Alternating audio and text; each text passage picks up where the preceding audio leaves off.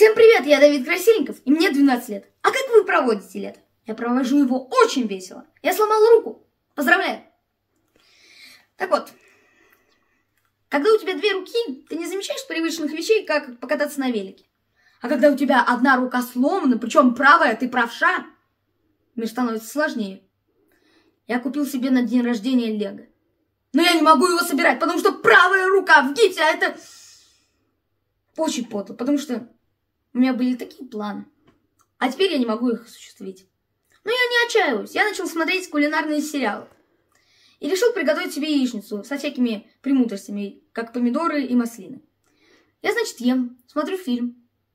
И тут что-то хрумкает на зубах. Я такой думаю, что это? Достаю, а это кусок скорлупы. В принципе, полезно. Кальций для руки.